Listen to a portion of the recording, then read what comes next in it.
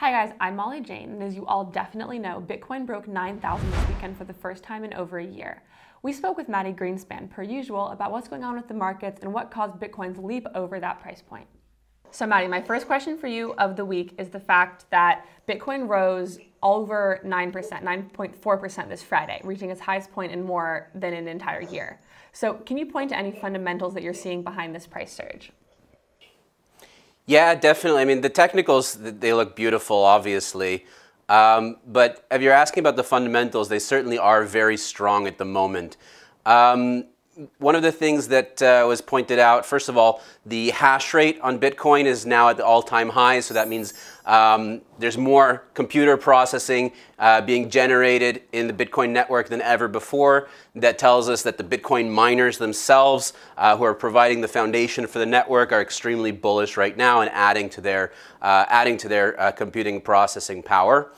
Um, there was also a report that the daily active addresses uh, on Bitcoin reached a million, uh, so a million addresses per day. That's the highest level um, since November 2017. This chart is from Coinmetrics, who I like to use a lot. Uh, but apparently, there's different sites have uh, different um, variables for what what they consider a an active address. So sites like BitInfo charts and blockchain.info are not reporting nearly the same amount uh, of active addresses. But um, you can see across all of them uh, that activity on the blockchain is growing at a rapid pace, especially uh, since January. Um, I'm very glad to hear that, obviously. So my next question now is, you know, over the weekend, Bitcoin was basically toying with the $9,000 point. It was up, it was down. Right now, it's currently up a bit. By the time this goes on YouTube, it could be down again. So what do you think the current support and resistance levels up. we should be looking at right now? Yeah, Bitcoin is volatile, we know, um, and incredibly unpredictable, especially on the short term. So, as we mentioned uh, in a previous update, I think that there's a miniature uh, resistance at 10,000. The only major resistance uh, that we have on the chart is 20,000, which is the all time high. Um, what we saw at 9,000, I think that that was just kind of um, incidental. Uh, that we had kind of a resistance at that level. We might get some, uh, because Bitcoin tends to follow very basic uh, technical analysis. So every round number tends to be significant. So 8,000 was significant, 9,000, 10,000 is a super round number. So traders will likely place more significance on that. Now, um, so that would be the next uh, minor resistance is at 10,000, but I think the next major resistance is the all-time high. That's when, you know, if we cross that, that's when we get real uh, uh, you know, parabolic movements and FOMO and stuff like that. But uh, at the moment, um, I think that's what we're that's what we're looking at. We can see that uh, ever since we crossed that 200-day moving average, uh, things have been things have been different for this market. So, what do you think could be a bullish price point for this week?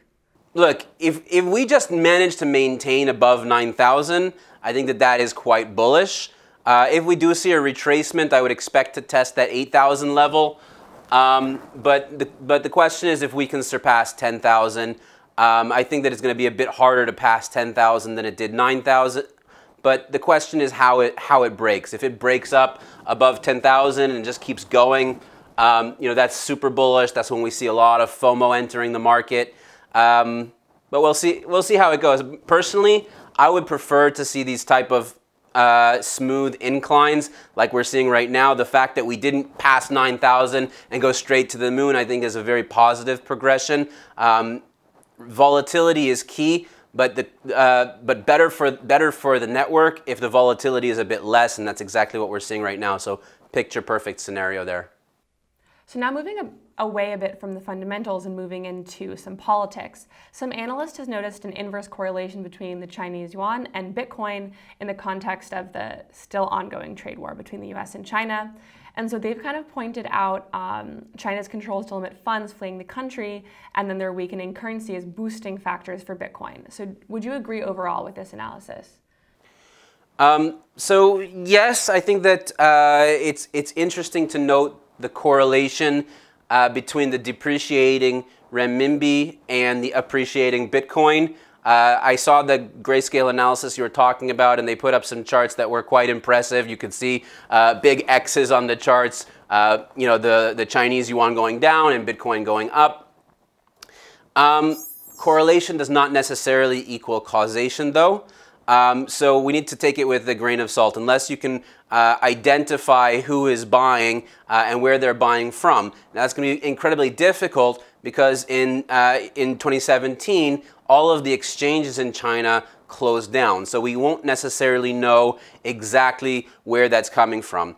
Um, one thing that I thought was a bit more interesting uh, was that uh, on in Hong Kong at the moment, uh, where we're seeing some very uh, interesting political progressions. Um, I don't know if you've been watching what's happening there. Two million people yes. Uh, were protesting on the streets over the weekend, which is about 25% of the population.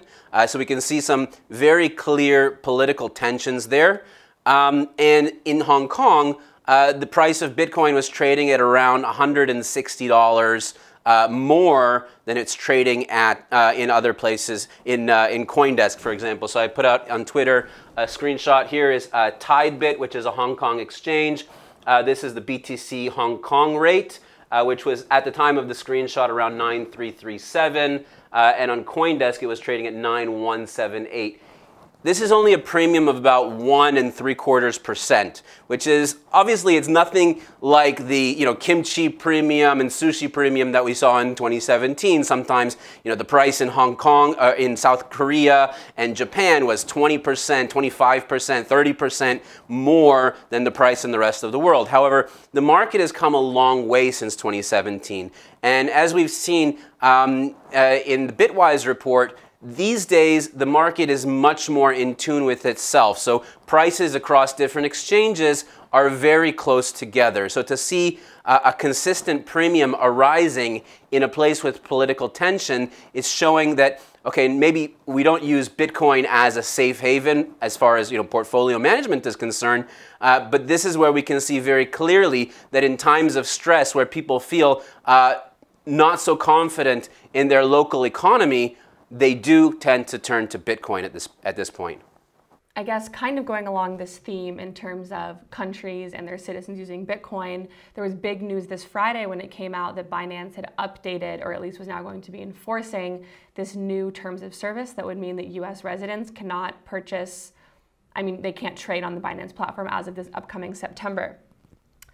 So right. this made um, altcoins go down. This made Bitcoin dominance increase as, I guess, a result of this news potentially. So do you see this announcement as something bullish for Bitcoin or bad for the market? What do you think about Binance's decision to exclude U.S. residents? Yeah, so when this came out, actually the real announcement here was that Binance uh, is in partnership with BAM uh, in order to uh, create a Binance.us, so a specific offering for US residents. Now, as a part of that, the US residents are unfortunately going to lose access to Binance.com. The difference here is that Binance US uh, the US division is going to be much more uh, tightly regulated. It's going to be, we're talking about um, something that's much uh, cleaner from a regulatory perspective. However, much less coins. Binance.com has about 150 altcoins, so the US, US customers are going to completely lose access to that. Um, is that good or bad for the industry as a whole? Is difficult to say. United States is um, it makes up a huge portion of overall traffic on Binance, as we've seen. Um, so as you mentioned, Bitcoin's dominance can rise in, in relation to that because uh, of the altcoins. People are going to have to sell off some of their altcoins because they simply can't trade them anymore, and then they're going to go into the more mainstream uh, crypto. So, what this does uh, say is that there's a consolidation within the industry.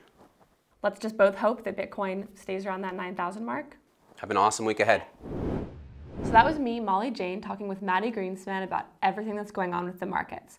And remember, this month, Cointelegraph's YouTube channel is going to be putting out three documentaries. One is already out, starring me, Crypto in the USA. Then there's going to be Malta, Blockchain Island, Part 2, as well as Sex in Crypto.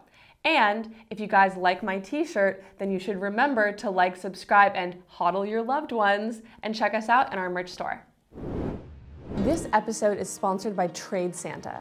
TradeSanta is a cloud-based trading bot. Set it up in less than two minutes, trade multiple pairs, choose between long and short strategies, use tech analysis indicators, and see your results in real time. TradeSanta works 24-7 to get you the profit you set. The platform is already integrated with Binance, Bittrex, Bitfinex, and HitBTC. The link is in the description below. Cointelegraph. Like, subscribe, and hodl.